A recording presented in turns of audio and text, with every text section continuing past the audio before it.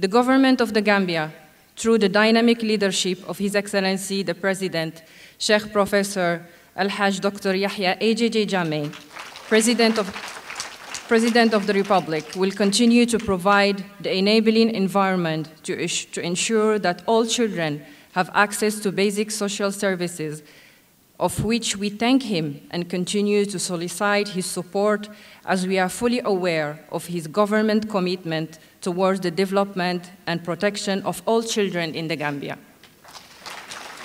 The government of the Gambia continues in its strive to achieve universal quality health coverage for all in the Gambia, with special emphasis on children's health with the declaration of free maternal and child health services since the advent of the July 22nd revolution. It is also pleasing to note that in addition to the breastfeeding campaign, the Gambia has embarked on the 1,000 Days campaign to ensure that children receive the right nutrition during this period, which has a profound impact on a child's ability to grow, learn, and rise out of poverty. This will also shape a society's long-term health, stability, and prosperity. Supplementary nutritional feeds it's also provided for children to prevent malnutrition. Access to safe drinking water has increased greatly.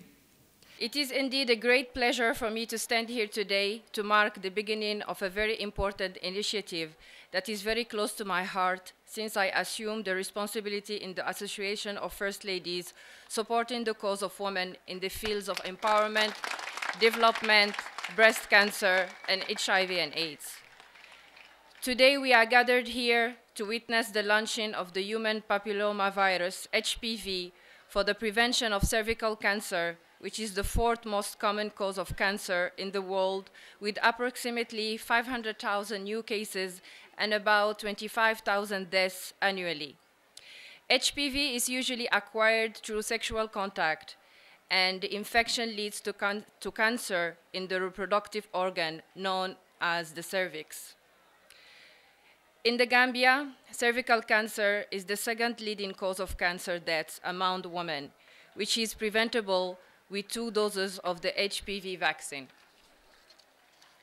I am with the strong conviction that under the dynamic leadership of His Excellency, the President, Professor Al-Hajj Dr. Yahya AJJ Jammeh, Babili Mansa, and under, and under my stewardship championing the fight against cervical and prostate cancer, we can prevent our women from this dreadful disease, thereby reducing the number of untimely deaths down to zero.